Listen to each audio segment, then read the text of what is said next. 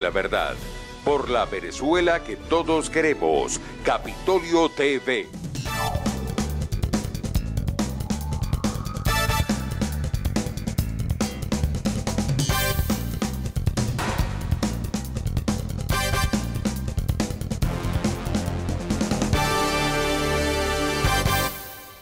Hace minutos denunciamos acá en la Asamblea Nacional la grave situación que ocurre en el SEBIN.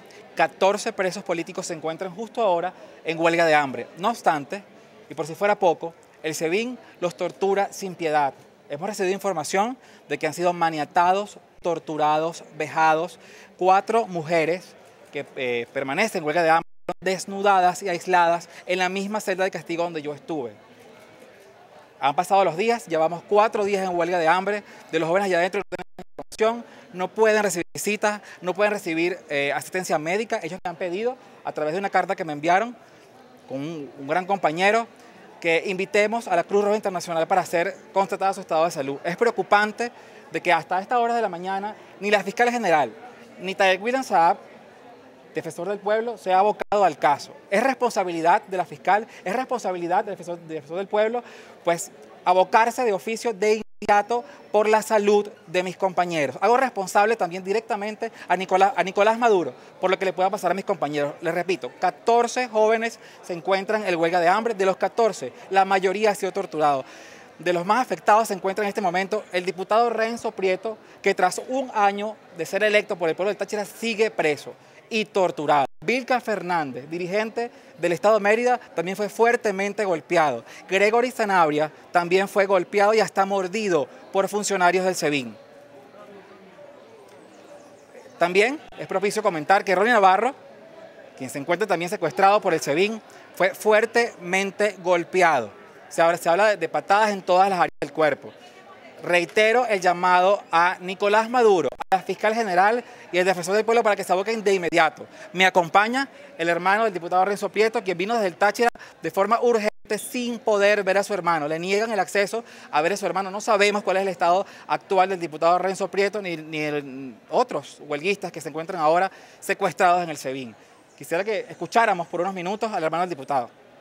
Este, buenas tardes para todos los presentes y de verdad que le agradecemos a la autoridad que a la autoridad de, de, del país que no se olviden de todos esos muchachos que están ahí por pensar distinto, por querer hacer una huelga de hambre, para que hacer un llamado de atención de lo que está pasando en más de dos años y siete meses, de lo que está de su secuestro prácticamente, que lo tienen allá, este, el SEBIN haya querido, ser gol, haya querido golpear a estos muchachos porque es lo que supuestamente nosotros como familiares es la noticia que tenemos, porque no tenemos más ninguna información de hace cuatro días.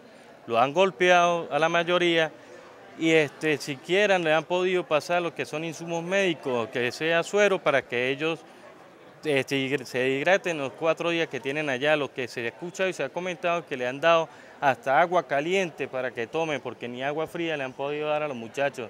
De verdad que hacemos un llamado a todas las autoridades presentes para que puedan ir hasta el SEBIN, para que, se, para que puedan recolorar la información de lo que está pasando con ellos.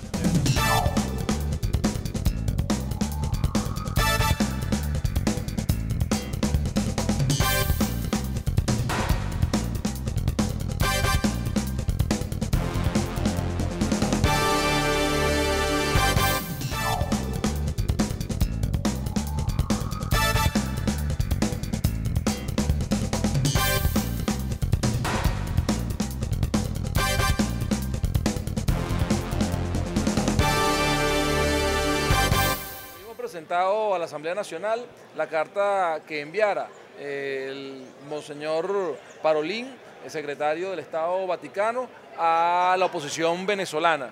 Una carta donde, por supuesto, la Iglesia explica eh, por qué ha venido a acompañarnos en el diálogo y además eh, también insiste en la necesidad de que los seres humanos resolvamos los problemas por la vía pacífica, la vía democrática y por supuesto usando una herramienta que considera que es de Dios, que nos ha dado Dios a los seres humanos, que es el dialogar. Pero también es muy importante indicar que la iglesia, en la voz de Parolín, eh, eh, y siguiendo instrucciones del Santo Padre Francisco, que ha indicado la preocupación que tiene por el incumplimiento de parte de la mesa del diálogo y fundamentalmente del gobierno de los acuerdos que se alcanzaron en, el 6, en, la fecha anterior a esta segunda reunión que no se, llevó a, no se llevó a efecto el 6 de diciembre. Es así que la Iglesia exige que se cumpla con el acuerdo de abrir el canal humanitario y poner a la disposición a Cáritas, una eh, fundación asociada y vinculada a la Iglesia Católica,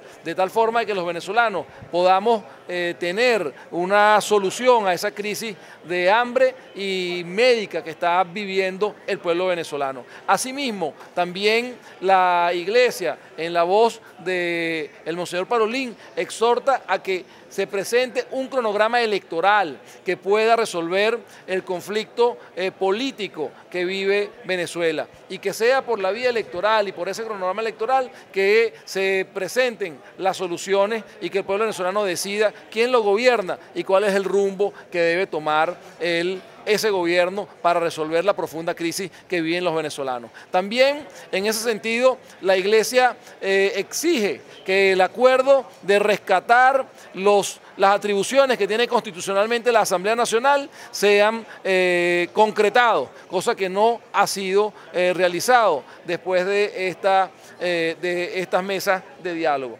Y finalmente, pide, por supuesto, la liberación de los presos políticos. Es así como nosotros vemos que la Santa Iglesia Católica está ratificando en este documento lo que fueron las exigencias de la Mesa de la Unidad Democrática en el diálogo eh, que se ha venido eh, desarrollando en el país. Así que nosotros eh, avalamos, agradecemos el trabajo de la iglesia y queremos indicar que nosotros nos mantenemos firmes y acompañamos estas peticiones de la iglesia católica. Es decir, cronograma electoral, un canal humanitario para que los venezolanos puedan superar la crisis de hambre y la crisis de salud que están viviendo, respeto y devolver las atribuciones que establece la Constitución a la Asamblea Nacional y la liberación de los presos políticos.